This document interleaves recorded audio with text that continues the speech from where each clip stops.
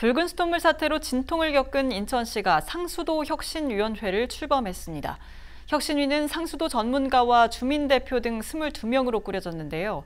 적수 재발 방지와 조직 개선 등 그동안 제기된 문제들에 대한 대안을 도출한다는 계획입니다.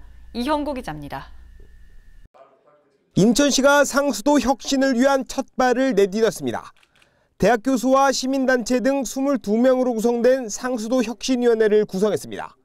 붉은 수돗물 사태로 드러난 상수도 문제의 개선책을 민관이 함께 찾아보겠다는 취지입니다.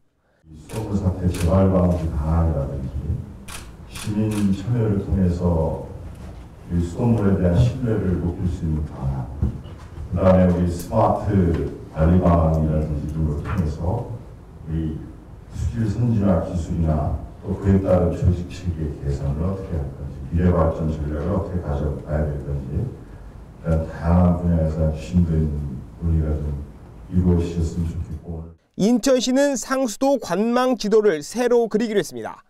수돗물이 가정의 수도꼭지까지 전달되는 과정을 밑그림부터 새롭게 만들겠다는 구상입니다. 아직 피해 보상 등 해결할 과제도 많지만 미래를 위한 투자도 늦출 수 없다는 게 인천시의 판단입니다. 홍역을 치른 붉은 수돗물 사태를 전화 위복의 계기로 삼겠다는 각오입니다.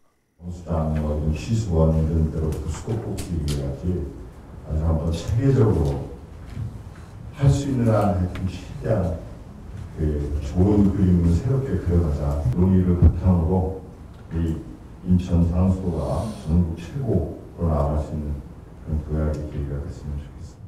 이날 1차 회의에선 수질 고도화 정책과 수질 정상화 방안 등에 대한 논의가 이어졌습니다.